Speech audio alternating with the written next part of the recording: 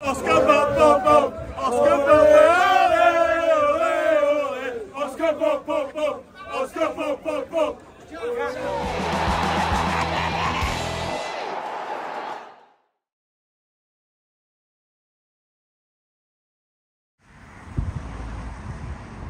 When I was growing up, my football hero was Colin Bell, who was born here in Hesleden, County Durham, which is en route to today's game at Newcastle. And I thought the only time I've ever been here was with Colin when I was writing his autobiography. So this was a perfect opportunity to revisit where I came with Colin all those years ago. So this is quite a sentimental journey for me.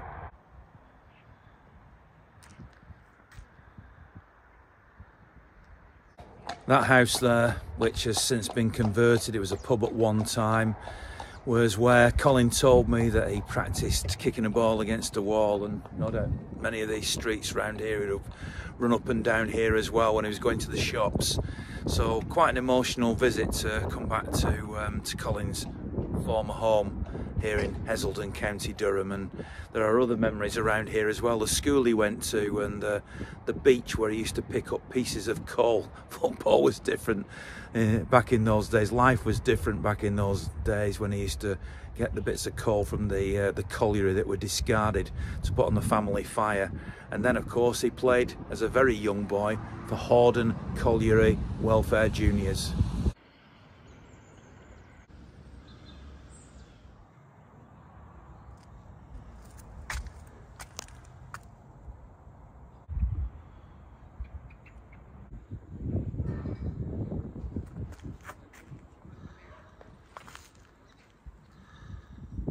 So those are probably the dugouts that Colin Bell actually sat in and this is the pitch that he played on when he was 14, 15 and went on to so many great things.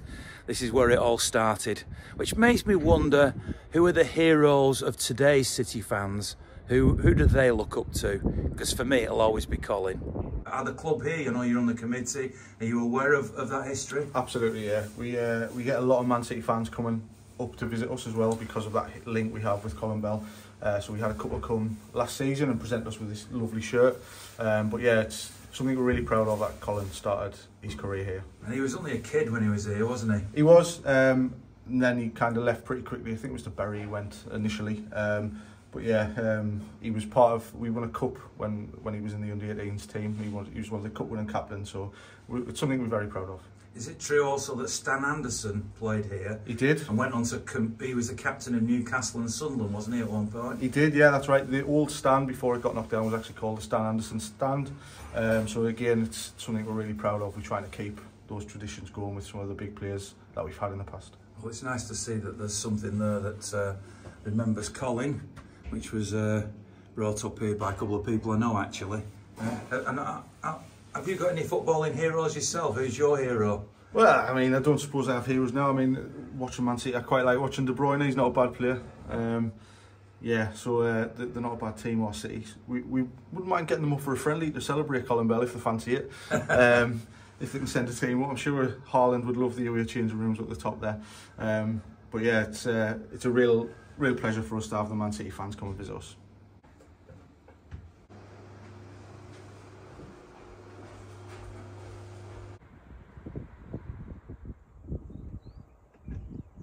This is where young Colin would have come looking for discarded bits of coal from Blackhall Colliery, which was near here. This is Blackhall Rocks. So, again, a sentimental place it certainly would be for Colin and his family.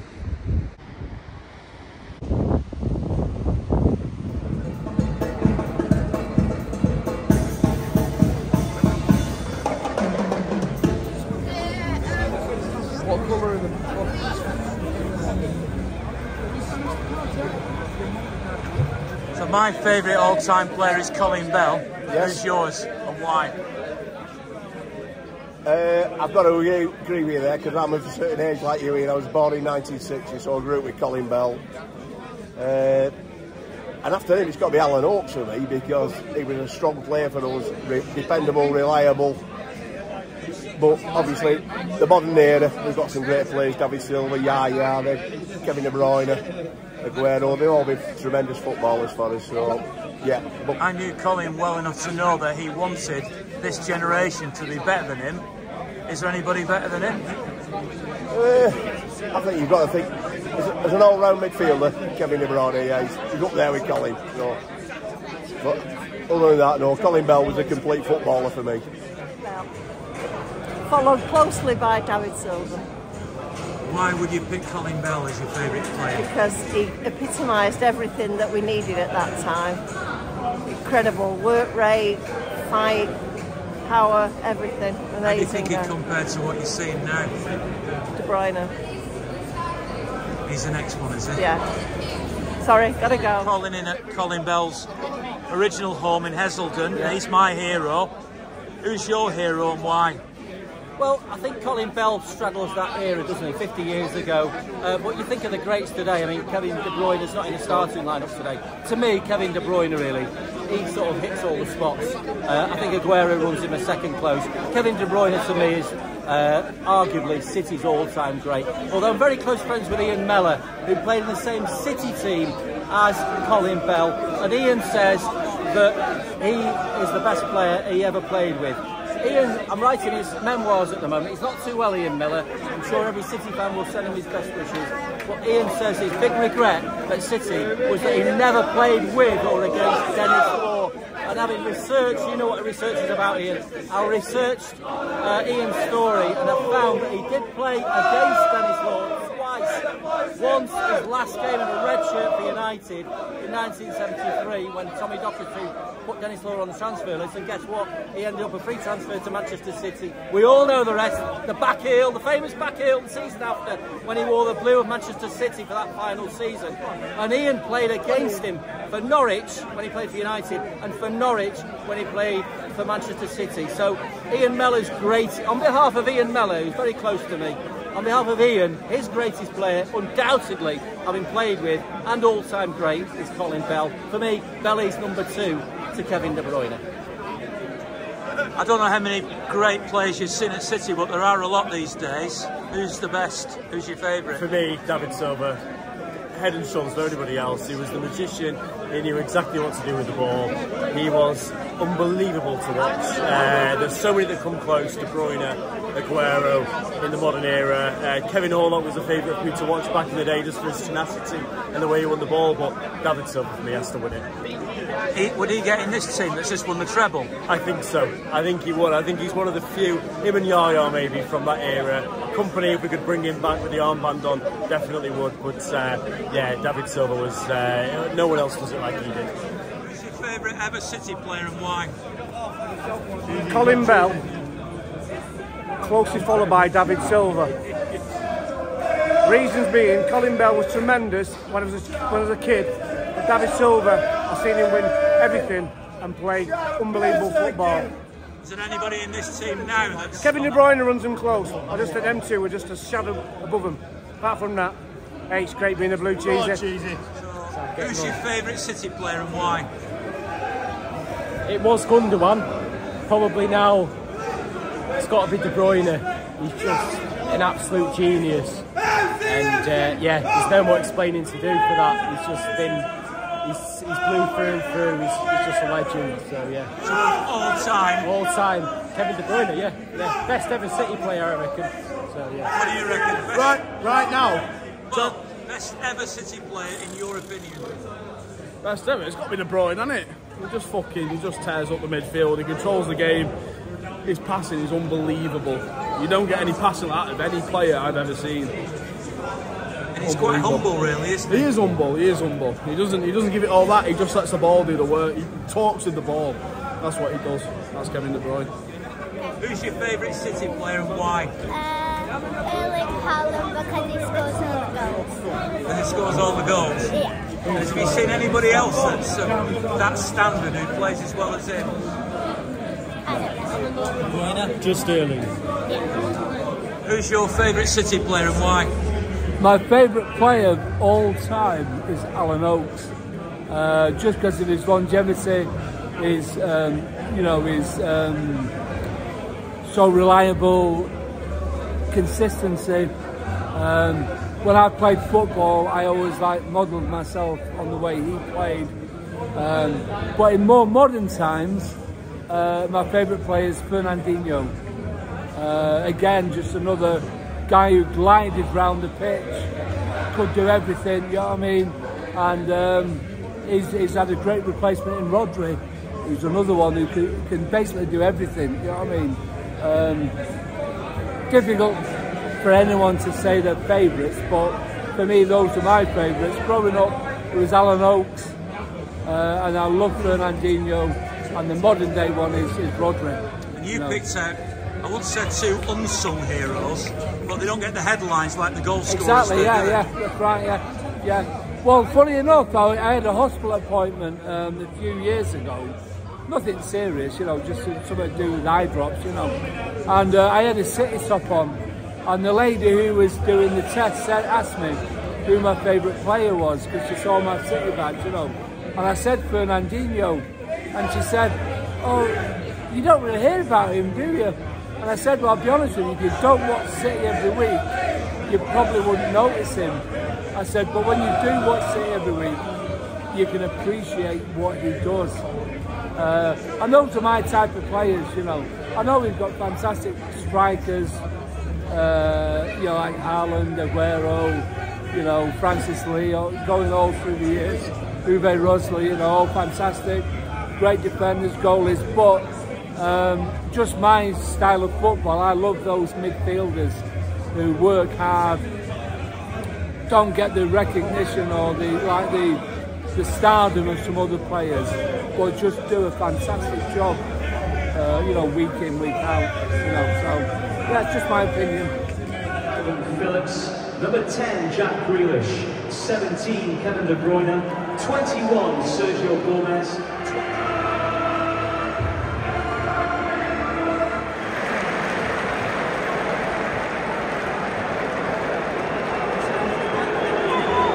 I think it's just a bit disappointing that, to be honest with you. I can't. Um, I'm not so good at putting things like this into words. I'm just disappointed. I can't say any more here. Is there a reason that City have gone behind in that first half, having led? I think they just keep sliding balls in behind, and they know that the goalkeeper's not quite Ederson. I don't think he's looking that confident. And they've had two good shots. He probably got behind us four times and put two in. I don't think there's any rocket science to it. We've seen City come back many times. Do you think they can no, do it course, again? Yeah, of course we can. Yeah, of course we can. I think he'll probably bring De Bruyne on after an hour, and and it might change. But you know, it's half time, and I'm feeling a bit down about it.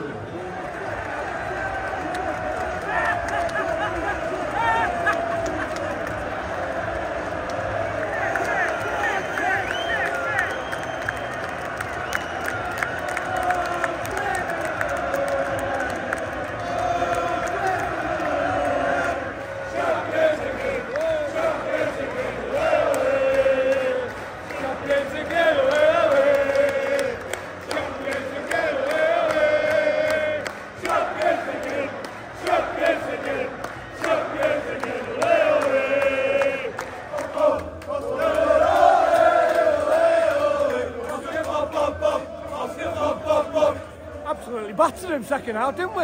Unbelievable team there. How we, if we had won that, it'd been unbelievable, wouldn't it? Seriously. The difference Kevin De Bruyne made was enormous. Fantastic finish, fantastic. Had a brilliant finish, Mosca there at the end. Cheesy, like I've always said. It's great being a blue. All the best, mate. We don't make it easy, do we? Jesus, whenever we come here 3 all last season, 1 0 start of the season, we don't half like having a good time at St James's, do we? But got the job done. Oscar Bobb, incredible as he came on. De Bruyne, looks back to his best already. So, you know, the title race is back on. Come on, City. Champions again, ole, ole. Champions again. Champions again. Champions again, ole, ole. Oh, but we, we got hit by the pace in the first half. I thought he was going to swap Aki over the Fabio. Right trophies one year. Come on, Newcastle. Let's go show what it's all about. What a whirlwind of emotions. First half we were losing and then came back 3-2, De Bruyne scored. Ah, real. He made the difference, De Bruyne, didn't he? Oh yeah, yeah, 100%. His goal and then Bobb's, two changes. Beautiful. So good. That, that is just what. That is just a dream. That is an absolute dream. I tell you, you, you can't get better than that. You can't get better than that. I tell you, we deserved it. We absolutely deserved it. I tell you, so brilliant. You can see the euphoria of the fans, can't you? All right, look at it, Oscar. He's got an Oscar for it. It's just brilliant. It's just a brilliant Saturday night. I tell you, you can't get better. Love it. Absolutely love it. I tell you. Cheers, cheers. He did not deserve to lose that at all. Tempo was brilliant. They had two chances, that was all. Oscar Bobb Bobb Bobb. Oh, that was brilliant. Old Trafford is falling down. This is this is where the run starts. This is where the run starts again. Come on. Cheesy, brilliant again, brilliant. I think in the second half, Oscar Bruyne Bobb. made the difference. De De Bruyne Bruyne made the Bobb. difference. Oh my god. De Bruyne made the difference. That, that win is going to win us the league, I'm telling you. That could that could put us over the edge. Hey, the That's gonna do us. He's going to have a statue eventually, De Bruyne. Yeah. Too Oh. right. If you don't get a statue, it's, a, it's absolute. He, des- he deserves any. He It's deserves, unbelievable. he deserves more than a statue. Hey, he deserves anything. Before he came on, we had nothing. We had nothing. He, he was the difference. Kevin De Bruyne and Oscar Bobb. Kevin De Bruyne, my favourite person in the whole entire world. He, he won us this game. I started this journey today by calling in at Colin Bell's birth town, Hesleden in County Durham, and talked about him being my hero. I've talked to lots of fans today about their heroes, many picking out Kevin De Bruyne, who came on and made such a big difference in the second half. Maybe Kevin, and I know Colin was a big fan of his, is Colin Bell Mark II. Certainly, he's a great player. And he made the difference today. He scored the goal that levelled things, and then the through ball that Oscar Bobb Bobb Bobb scored the winner from. Those are great turning points in the season, aren't they? Thanks very much. You contributed. Thanks very much to M&M Artwork and Mirrors, to um, Timpson, of course, and to uh, for their support. But most of all, thanks for you. Uh, don't forget the audio podcast that we do every week. Fingers crossed, Richard Dunne will be on the next one. They'll be recording on Sunday evening, and of course, I will be at Spurs in a couple of weeks uh, for the FA Cup tie. In the middle of all that, I'm going to put up a video of me chatting to Kit Symons about his career, so look out for that as well. But it's great being a blue, isn't it? It really is.